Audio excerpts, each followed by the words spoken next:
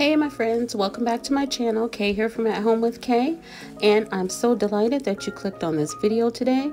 Please leave me a like, a comment, and if you're not already a subscriber, please consider, consider subscribing to my YouTube channel. I'd love to have you here. So I've been away for a while and I apologize. And I was going to do this project for the um, February recreation um, collaboration, but um, like I told you guys that I had a death in the family. I lost someone so dear to me. I still can't believe it. And I just couldn't get, get anything together. So I'm going to do it right now in this little video here. This was going to be a DIY that I saw Craft Away with Mae. She made um, something like this on her channel where she made a sign for her uh, for her kitchen or I don't know whose kitchen, but she used a pizza pan from Dollar Tree. And then she um, add, she attached the spoons or the spatula to it. And she said on there, she had written something like baking spirits bright or something to that effect. I can't really remember right now, but um, I'm going to link her channel below so that you guys can go and check out her fabulous DIYs that she does. But what I did was I just roughed up this little pizza pan and I'm adding some plaster paint by Waverly. And what I'm going to do with the spoon and the the I believe I have a spoon and a spatula because I couldn't find exactly what I was looking for so I had to settle for this I'm going to paint them with the same plaster paint and then I'm going to add just a small bit of the um, antique wax to make it look you know just a little bit more aged and worn. And I'm going to do that on the pizza pan also. And what you do is you take refrigerator you take magnets and you adhere it to the um, your pizza pan so that you can switch it out, switch things out if you chose to um, for different seasons. And you'll see when I make some other magnets what I'm talking about. So here I'm just taking my antique wax and I'm just going to add it lightly with a dry brush around and around and all around just to give it a little bit more dimension and character when you look at this. And then I'm not going to use, um, first I was going to use some lettering from Dollar Tree, but um, my sister gave me these nice little letters. They almost look like they're quilted looking letters like the patterns on them and I'm going to use that to just say something like baking makes me happy. So that's what I'm going to do. And as you can see here I'm all done with the pizza pan and now I'm adding the antique wax to the spatula and I, I add it to the spoon and then we're going to move on to our next step thank you guys for um, being patient with me you know. Things happen in life just so unexpected and you know i just didn't know what to think or do and i wanted to get videos out and i wanted to you know just keep going but i just had to focus and get my mind you know clear. And i appreciate all of you. Thank you. If you're watching this video thank you so much for even watching it. I know it's been a long time but um, it is what it is but i appreciate you guys so so very much you just don't know.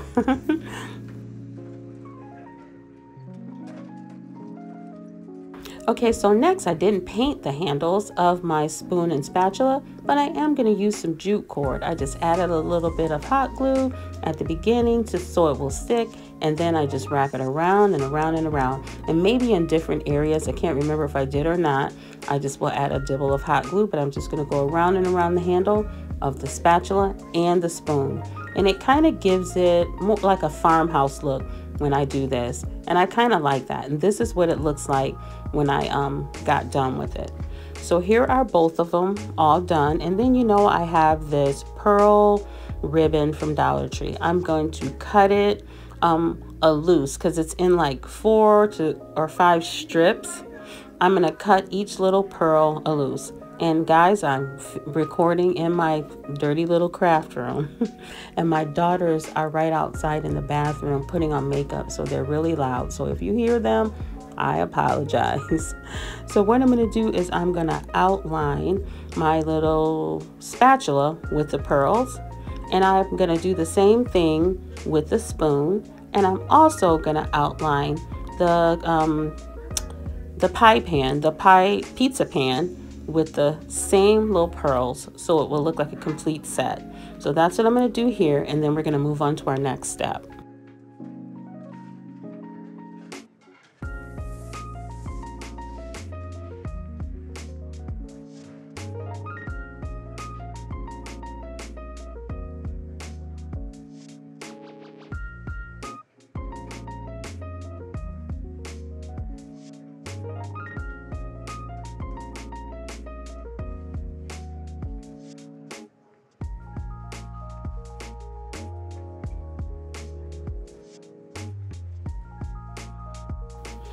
Here we are with the pizza pan. I'm going to go around adding a little hot glue and adding the pearl ribbon, just one strip of the pearls, just one, all the way around on the edge.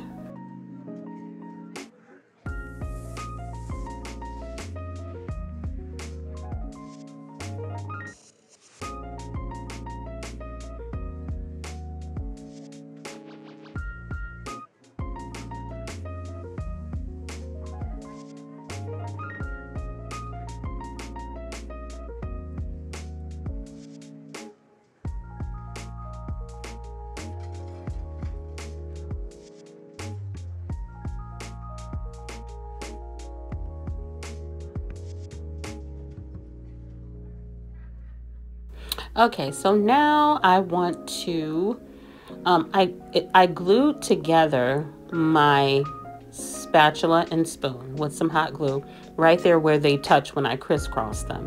So now I'm going to take some ribbon and I'm going to make a bow for the center of it just to make it look more farmhouse, you know?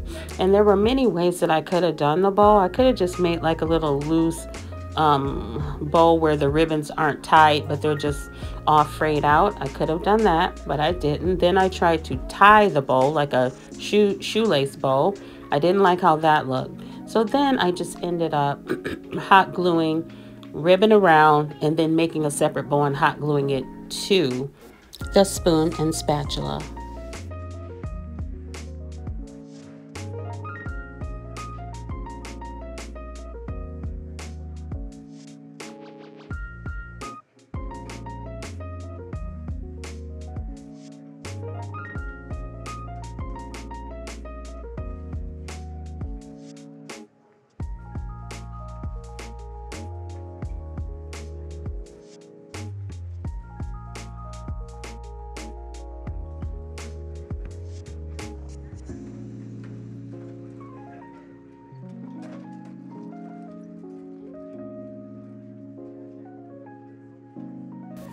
And I'm sorry, I'm out of frame. What I'm doing here is I'm just trying to get my bow in order so it will fit properly on top of my spatula.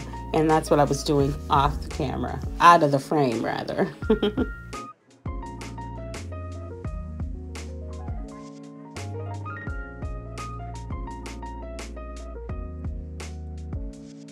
And then I had the idea of adding these little Dollar Tree um, flowers that I got from Crafter Square. They come in different colors, but I was going to add a white one, but then I changed my mind. It didn't need that. So I just nixed that idea.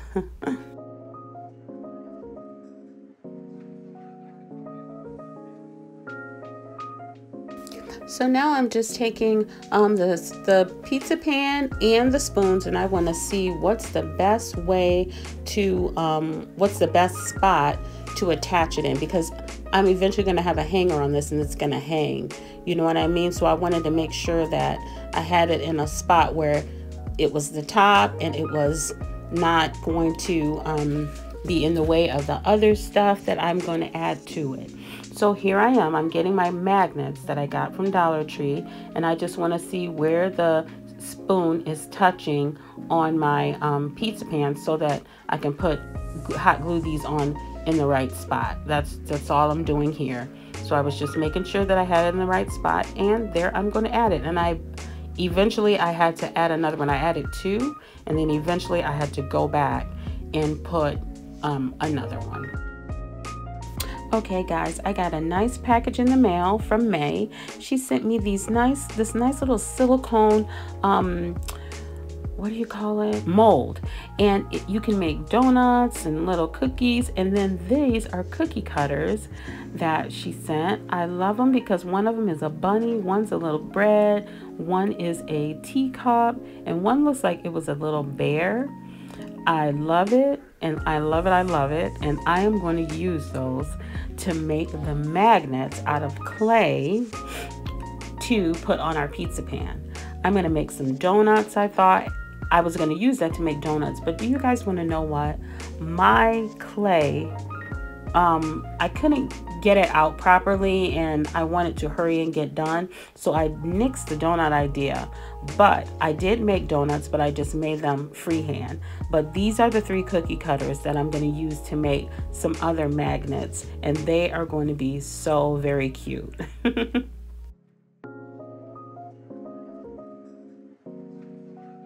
And the thing I had done was I started with foam clay.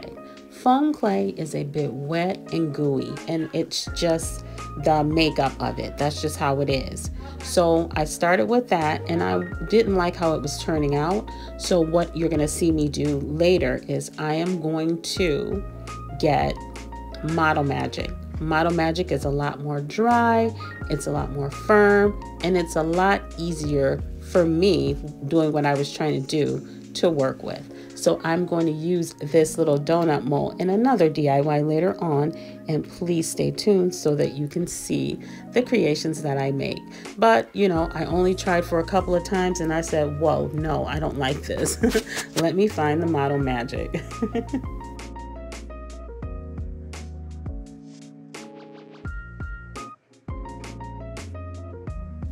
So now here we are. I rolled out my clay and I made some little bunny cookies. That one was unsuccessful because I was still using this. There we are. Here we are with the Model Magic. I was waiting for this clip to come in. I got my Model Magic and, and then everything was a success.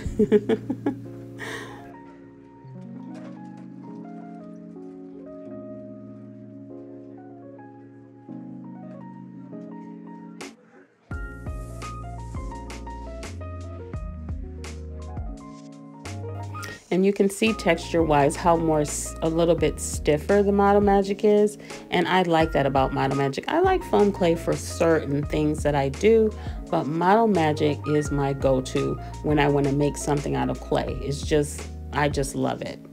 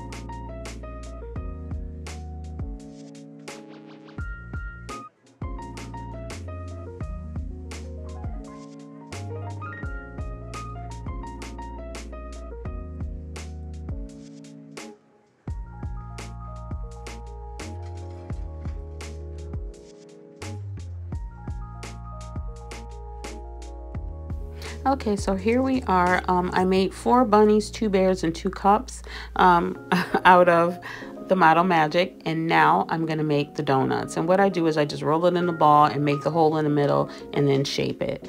That's usually how I make um, my bigger donuts. But I am going to use that mold because I just want to do that and get it right, you know, one time. and just see how cute they are because that one center section, I believe you can make little cakes out of that. And that is just so adorable. I love it. And here I am going at it again, but um, I'm still just going to do it um, the way with freehanding.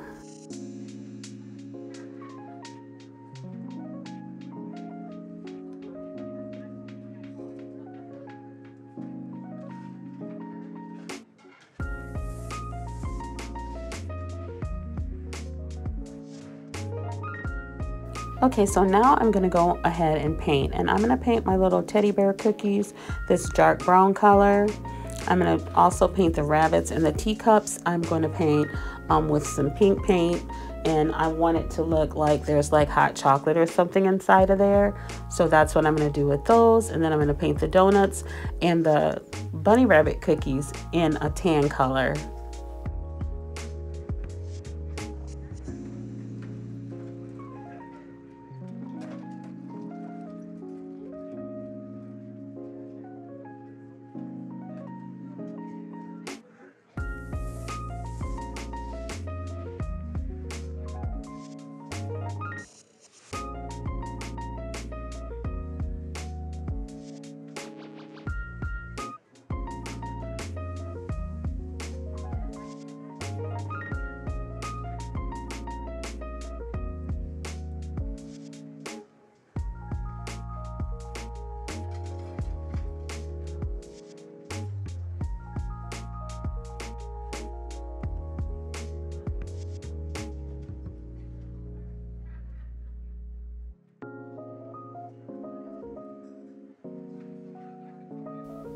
Yeah, and I think this is Honey Brown by Deco Art. This is the one I'm going to use um, to paint the cookies and the donuts.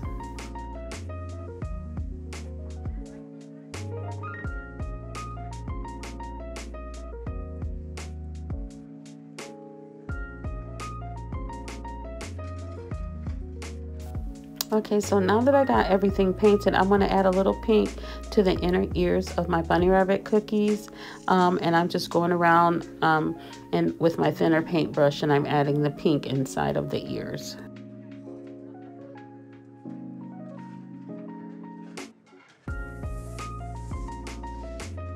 So I'm going to add the magnets to the back of these when they dry and I'll show you what it looks like at the end of the video.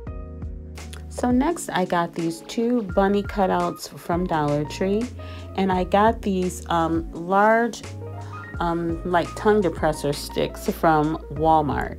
I'm going to use these to make this nice little Easter bunny um, um, napkin holder. My brain's on, on fart mode right now. A napkin holder. And what I'm going to do first is I'm going to add this plaster paint by Waverly to everything. And now that I got everything painted and it's completely dry, I am now going to use a little hot glue and wood glue to adhere these sticks to the side. And I think altogether I used nine sticks. First I had six and then I decided I needed to close and I didn't have enough to close in the bottom. So I painted some more and added it to the bottom and you'll see that at the end how I did that. But I'm just adding a dibble of hot glue, a dibble of wood glue, and this is Dollar Tree wood glue and I'm just adhering it to both sides of the bunny rabbit.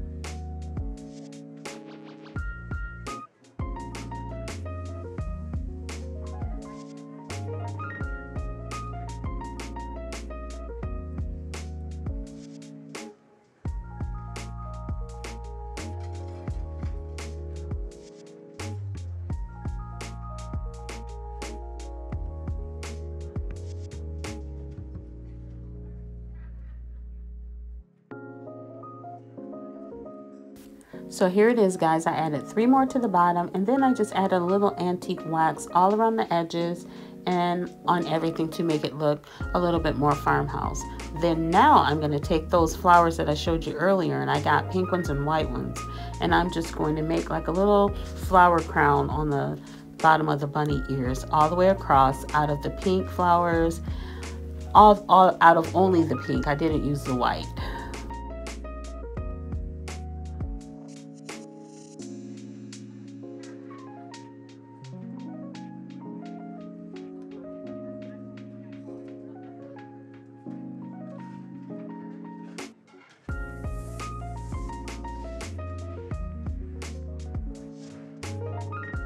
So I'm going to do both sides with the flower crown and I'll show you at the end of the video. So next, have you guys seen these new trays at your Dollar Tree? I thought they were really cute. So I got three of them and I'm going to make like um like this little standing st this little stand and I'm just going to decorate it with little Easter novelties. So I'm just I got these three um like dowel rounds. Um, they were inside of this box of wood that I got um, from my sister, and I'm just going to use those as the um, the the points where I place my little trays. But these trays are cute because they're scalloped all around the edges. They're different. I've never seen them at Dollar Tree before, so I was really excited when I saw them in the Crafter Square. And I'm just using a dab of hot glue and a dab of um, wood glue, just like as before and I'm just gonna hot glue that and get that all done and then I'm gonna paint it and I'll be back to show you that.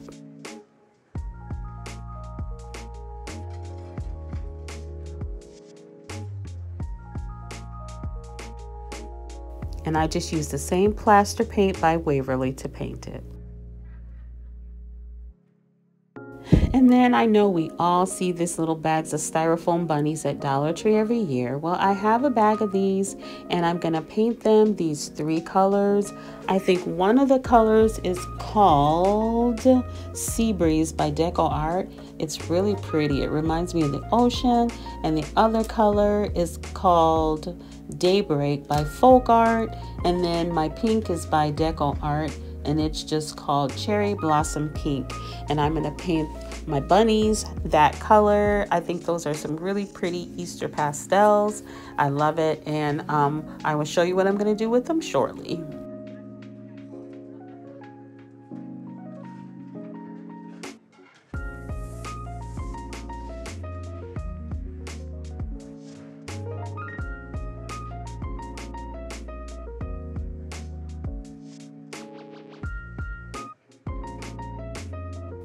Here are our little bunnies all completed and I'll show you at the end how I styled them. Here we are at the end of the video. Here is our little napkin holder. These napkins I got from Dollar Tree last year um, and I just decided to place them in my little napkin holder but I think this is a nice um, way to display them. They're very pretty. Um, I love them and I love the way this little napkin holder turned out. And here is our sign and these are the letters I was talking about. I just glued them to um, my pizza pan. They say baking makes me happy and I put a little exclamation point and they're all pastel colors and I just want to show you here on the donuts how I added my my magnet and I just used some puffy paint for the frosting but aren't those cute? And I can just use any kind of magnet on here. I can create any kind for holidays or whatever. And here is the tray. And I just added those foam roses from Dollar Tree, some moss, and the bunnies. How cute. Thank you guys so much for tuning in today. I appreciate each and every one of you hanging out with me and sticking by me in my absence and even reaching out to me just to make sure everything was okay.